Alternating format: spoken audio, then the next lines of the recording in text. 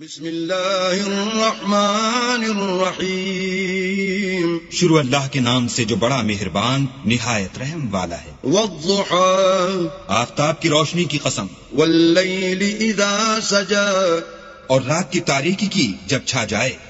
ما ودعك ربك وما قلى اے محمد صلی اللہ علیہ وآلہ وسلم تمہارے پروردگار نے نہ تو تم کو چھوڑا اور نہ تم سے ناراض ہوا۔ من اور آخرت تمہارے لیے پہلی حالت یعنی دنیا سے کہیں بہتر ہے۔ ولسوف يعطيك ربك فترضى. اور تمہیں پروردگار ان قریب وہ کچھ عطا فرمائے گا کہ تم خوش ہو جاؤ گے۔ ألم يجدك يتيما فآوى. بھلا اس نے تمہیں یتیم پا کر جگہ نہیں دی بے شک دی۔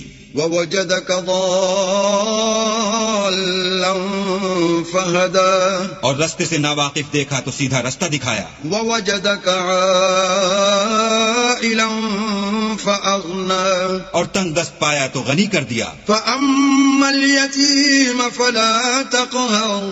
تو تم بھی یتیم پر ستم نہ کرنا۔ وأما السائل فلا تنهر اور مانگنے والے کو جھڑکی نہ دینا۔ وأما بنعمة ربك فحدث. اور اپنے پروردگار کی نعمتوں کا بیان کرتے رہنا۔